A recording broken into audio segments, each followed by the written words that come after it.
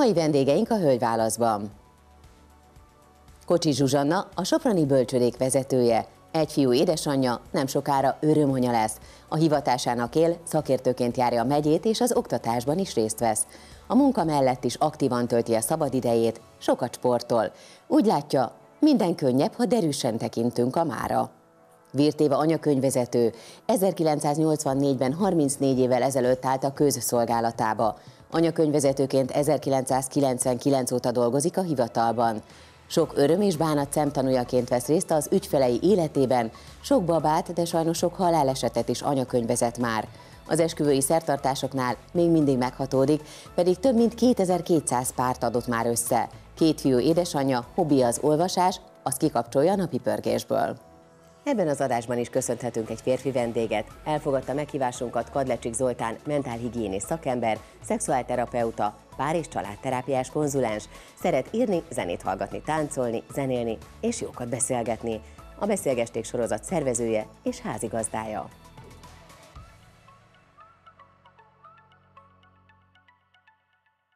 Sziasztok lányok!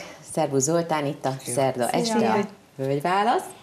Egy izgalmas témát tartogattam erre az estére. A férfiak vajon mit értékelnek a nőkben? Mi ez, ami igazán vonzó számukra a nőkben? Remélem, hogy okosabbak leszünk majd az elkövetkezendő percekben. Hát mindjárt egy férfihoz fordulok. A téma kapcsán arra lennék kíváncsi, hogy szerinted mennyire fontos, hogy milyen életkorban, életszakaszban van egy férfi, abból a szempontból, hogy mit értékel igazán egy nőben. Hát nagyon fontos, ez nyilván változik, hogy 20 évesen mit nézünk meg egy nőben, vagy mit keresünk, meg 30, meg 40, meg 50. nyilván, hogy valaki nem érett, akár a korából kifolyólag, vagy egyébként személyiségében nem fog tudni találni érett társat, hisz hát nyilván olyat talál, aki, aki neki belefér abba a keretbe, amit ő keres. Szerintem a, az párválasztásnál nagyon fontos az, hogy legyenek érettek a mhm. személyek benne. Mert hogy két éretlen személyiség találkozik, akkor az, hogy mi lesz abból x idő múlva, nagyon nehéz megjósolni. Azon kapkodják magukat a férfiak, nők, hogy te jó ég, én most jövök rá 30, 32, 35 évesen, hogy én milyen is vagyok, és hogy, hogy nem ismerem azt az embert. Nyilván nem csak korfüggő, de az, hogy legyen egy megdolgozott személyiség, szerintem ez fontos. Férfiként is ezt gondolom, hogy, hogy nekem azok a nők nagyon szimpatikusak, akiben érzem azt, hogy érettek, hogy, hogy úgy helyükön vannak, és tudják azt, hogy merre van az előre, hogy milyen az, mi, mi az ő értékeik, mi a világ, mi az értékrendjük. Most, hogyha ez nincsen meg, akkor nekem mondjuk a, popsi az másodlagos. hát lányok azért, ugye erről pont az öltözőben beszéltünk, hogy őszinte legyek, hogy azért mi meg nagyon megnézzük azt, hogy éppen milyen állapotban van a popsink, a derekunk, ránk jön a ruha, milyen a smink, a lánc, stb. Zsuzsa, azért ugye nekünk nőknek fontos az, hogy hogy nézünk ki, és azt hiszük, hogy a férfiaknak ez központi szerepű. Igen, mi nők így gondoljuk ezt, hogy elsősorban a férfi, akivel találkozunk, ránk néz, és akkor az első benyomása az, ami, a kép, amit lát, hogy ez lesz a döntő. Nem tudom, ti hogy gondoljátok, de ugye ahhoz, ahhoz, hogy valami legyen valami kapcsolat, vagy egy sikra, azért mégiscsak fontos eh, szerintem az, hogy milyen benyomást keltünk mi a férfiakban, hogy az összkép, most nem arra gondolok, hogy, hogy XL-es melltartó kell, hanem arra gondolok, hogy ápoltak legyünk, csinosak, a kisugárzásunk olyan legyen, hogy ami megfogja azt a férfit, a fiatal embert, akire pályázik esetleg a hölgy. Éva, szerinted mennyire fontos a külsőség egy férfi számára, és mennyire a nők egy picikét ezt túlhangsúlyozzák?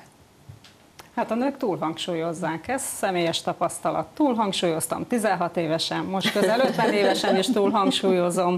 Hát igen, a, az igényes nő egy jó ápoltságot, tehát hogyha meg kell való jelenni, akkor bizony a frizura rendben legyen, a ruházat rendben legyen.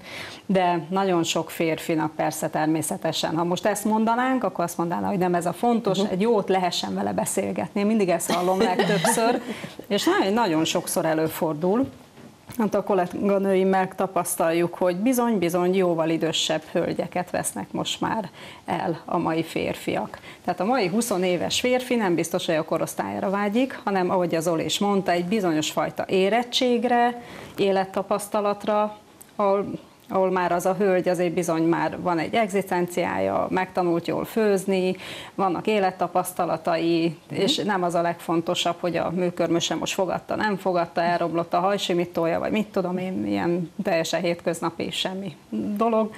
És az, hogy a férfiak mit keresnek elsősorban a nőkben, ezt megint nem tudom csak úgy megfogalmazni, mert ahogy az Oli is mondta, nagyon korfüggő.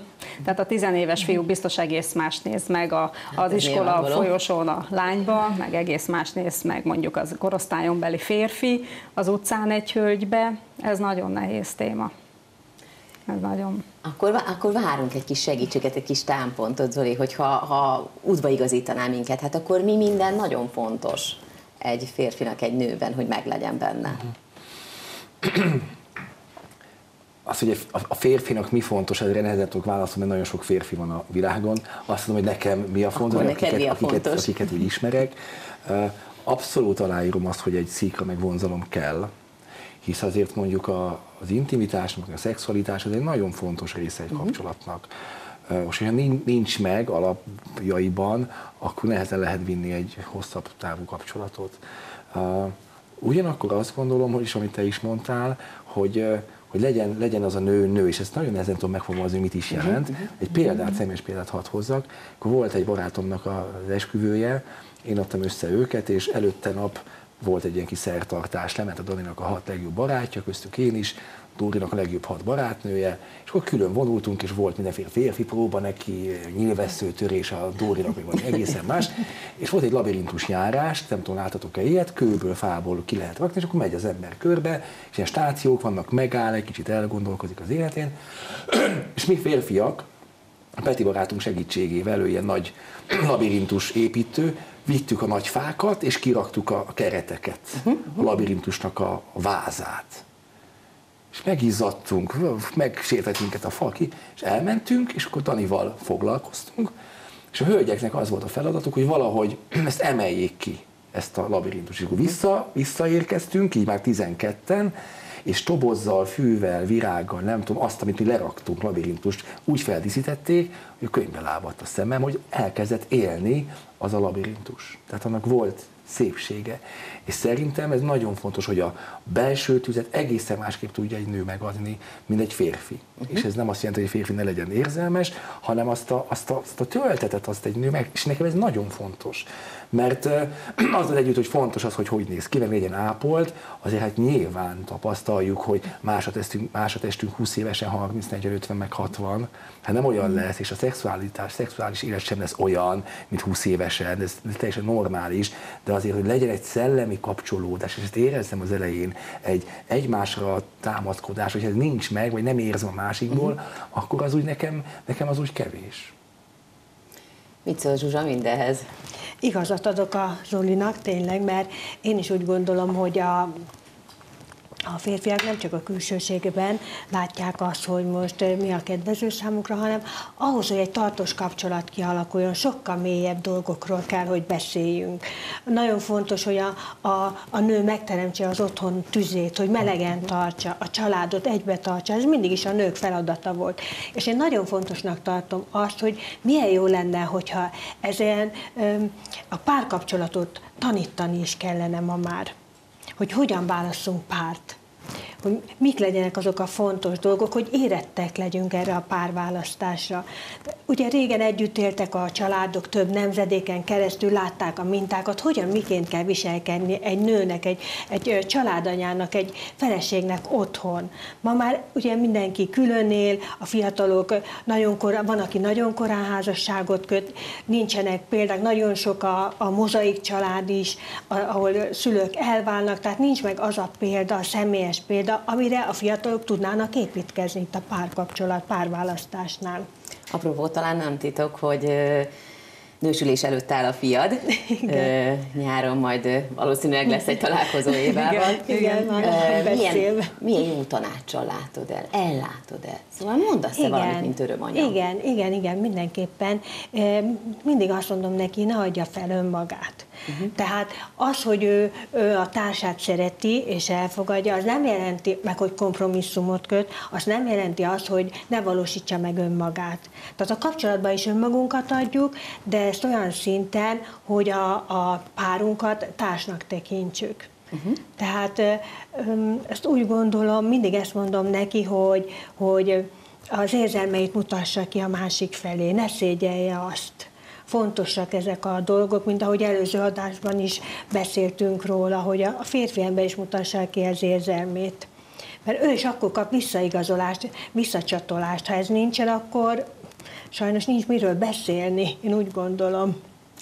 Beszélgetünk ugye a nőiességről, és van egy érdekes dolog mondjuk egy házasságban, egy hosszabb párkapcsolatban, amit úgy neveznek, bár lehet tagadni, hogy van ilyen, de azért tudjuk, hogy van, hogy házi sárkányosodás amikor egy nő szép lassan elveszti önmagát, és tulajdonképpen szinte már teljesen más személyiség, mint aki szerelmesen és boldogan hozzáment mondjuk a férfihez. Te neked mi a véleményed erről, Éva, hogy, hogy ez mennyire gyakori folyamat, vagy miért van ez egyáltalán? Hát ez az elsárkányosodás, hát ez megint nem akarom szegény férfiakra ráhúzni, de ez mindig a, a férjünktől, a párunktól függ, hogy ő ezt mennyire engedi. Én otthon nem tudok se vitatkozni, se sárkánynak lenni, mert úgy ott hagynak a plac közepén, mint annak a rendje, úgyhogy ott dühönketek magamba, és 10 perc múlva rám nyitják az ajtót, és mindenki mosolyog. Szerintem Hát ha ahol minden rendben van, ott szerintem csak a, a az, hogy egy kicsit idősebbek leszünk, bölcsebbek leszünk, aztán lesznek egy kicsit talán rigójáink, amit már, már azt veszük észre, hogy na ezért eddig nem szóltunk, most már szólunk. Ez szerintem ez nem, nem az a tipikus elsárkányosodás, mert ha már az, ha mindig szólunk a másiknak uh-huh. minden apró dologért, meg, meg az idegeire megyünk, akkor ott előbb-utóbb annak vállás lesz a vége, vagy akkor elválnak az útjaink. Nincs ebben személyes tapasztalatom, azt azért nem tudok erről teljesen hitelt érdemlően beszélni. Az Tehát, csak természetes, hogy mi hárman nem vagyunk sárkányok, igen, ugye ez nem igen, is volt kérdés, mi azokról nem vagyunk sárkányok. Akik, Hát ők meg nem tudom, hogy élik meg. Ott biztos vannak azért ebből konfliktusok. Biztos, hogy vannak. Mik azok a tulajdonságok, amik taszítanak egy nőben? Tehát, hogy azt ne, abból nem kérek. Jaj, de jó kérdés. Van jó pár. Uh, amikor a tudatosan vagy nem tudatosan szerepet szeretne cserélni egy nő, hogy ő legyen a mhm. férfi. Uh-huh.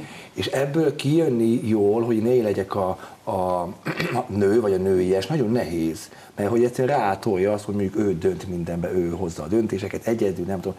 Én egyszerűen nagyon-nagyon nehezen viselem, bármennyire furcsa, hogy mondjuk egy nő elkezd udvarolni bárkinek, vagy nekem. Aha, aha. Uh-huh. Tehát, hogyha egy nő kezdeményez, Igen. az... És ez nem a, hogy a, a szexuálterápiát tanultam, azt mondta Robusz Edith, és igaza van, hogy egy, egy férfi ö, hódít, hódítson, a nő meg csábítson. Uh-huh. És szerintem csábítani lehet úgy ránézni egy férfira, mosolyogni. Amikor odajön, és azt érzem, hogy föl akarsz tenni, engem rettentően zavar. Azért, mert nem az ő dolga. Tőled nem nagyon érdemes randit kérni ezek szerint. Nem az ő dolga. Lehet, Igen. egy férfi észre tudja venni az, hogyha egy nő úgy néz rá, hát persze, és, ne, és csábíts el a férfit. De a hódítás benne van a szóba, az a férfi dolga. Tehát én nagyon nem szeretem azt, hogyha ezek a szerepek fölcserélődnek, és akkor eljátszolja a férfit. Nem, a férfinak vannak férfi tulajdonságai, vagy karaktervonásai, meg a nőnek is. És mindegyik nagyon-nagyon fontos, és nem kevésbé fontos ebben egy női attitűd, Sőt, hát kell a tűz melege, és hogy nem is tudom hol olvasni, hogy nők mennyi mindent ki tudnak hozni abból, sokkal többet, mint a férfiad. Férfiad, nem tudom, egy, egy épületet, a nő abból csinál otthont, a mhm, férfi adja mondjuk a, a, a spermáját, a nő abból gyereket szül. Tehát, hogy a nők nagyon gazdagok lelkileg, és hogy tényleg vinni kell a tenyerünkön a férfinek, hogy legyen királynő a nő, mert akkor tud tenni a pasi király. És akkor nem lesz sárkány. nem lesz sárkány. Én nekem, nekem, nekem nagyon bosszant az, hogyha ha valaki nem meri, azt hiszi, hogy attól lesz nő, és hogy csak ettől ez mai világ erre megy, hogyha tényleg úgy öltözik fel, és kiteszi mindenit. De nagyon oké, de attól nekem még nagyon nem nő, vagy nem ettől nő. Persze, jó, meg lehet nézni, hanem az, hogy legyen egy tartása, lehessen érezni azt, hogy ő nő, megengedi azt, hogy én férfi legyek mellett, és én megengedem azt, hogy ő nő legyen mellett. Uh-huh. Ami nagyon nehéz szerintem egyébként egy párkapcsolatban, hogyha már itt tartunk, és amire nagy szüksége van a férfiaknak, az a függetlenségüknek hmm. valahol a megadása, megtartása. Persze azért ez fordítva is így van, Mennyire nehéz, Zsuzsa, szerinted úgy szabadon engedni a férfit, hogy, hogy a hobbiának, a szenvedélynek élhessen, ha úgy van, a haverokkal elmenjen. Ez nehéz azért, én úgy gondolom. Igen, de egyetértek veled, hogy kell teret hagyni a másiknak is, hogy ő is a barátaival találkozzon, a hobbiának hódoljon, mert nem az a lényeg, hogy elmegy, és hogy el, ilyen tevékenységeket uh-huh. végez, mert nekünk is megvannak a hobbiaink, mi is szeretünk elmenni a csajokkal egy ott kávézni, kidumálni a srácokat, minden, úgyhogy nekik is szükségük van erre, hanem az a lényeg, hogy utána mindig egymásra találjunk. De ez csak akkor működik, hogyha azon a gyeplőn engedünk. Uh-huh. Én úgy gondolom, hogy Mennyire nehéz folyamat, Évi, szerinted ezt a másikat úgy, úgy függetlennek hagyni a párkapcsolatban? Nem nehéz, nem nehéz. Én is szeretem függetlennek hagyni a férjemet, ő is függetlennek hagy engem. Én mindig azt mondom, ott a szertartás alatt az esküvőkön is van ez az úgynevezett gyertyagyújtás, amit a kolléganőkkel Csinálunk három szál gyertya, van egy tálcán, a középen álló szálat gyújtják meg a, a kedves párjaink egy-egy égő gyertyával, és az elődeim, azok mindig elfújatták a, a feleségnek a kezében lévőt, illetve a férj kezében lévő gyertyát. Hogy az a külön-különálló életet szimbolizálta, és hát fújjátok el. És a középen álló szál az meg ott égett. Aztán ott gondolkodtam, hogy eltelt jó pár hónap így a 20 évvel ezelőtt a szakmám elején, és akkor mondom, hát mi a frászé fújatom én el? Hát a, az szimbolizálja, hogy ez a te életed, meg az a te életed, és meggyújtottátok a közösen égő lángot, és akkor elkezdtem mondani, hogy ne, ne fújd el. Attól még te még te vagy. Attól még te a Sámuel vagy, attól te még az Orsi vagy. Az meg ott megy a közös, ne fújd el. És akkor, és akkor rájöttem, hogy ez milyen jó dolog, és olyan boldogan nem fújják el. És tényleg attól még ő elmegy még tekézni, a lány elmegy még a barátnőjével egyet túrázni. Ez olyan, mint a lantnak a húrjai is, ugye külön állnak, de mégis, ha megpendítjük őket, akkor egy gyönyörű dallam, egy együttes hangerő jön ki. Tehát ez különálló húrok vagyunk, de ha megpengetnek minket, meg egymást, akkor gyönyörűen akkor szólunk. gyönyörűen szólunk, így van. Hát ennél szebb végszó szerintem nem lehetne, úgyhogy én most már nem is mondok mást, mert elrontanám, csak köszönöm szépen, hogy eljöttetek Mi hozzánk. Köszönjük, köszönjük. köszönjük. köszönjük.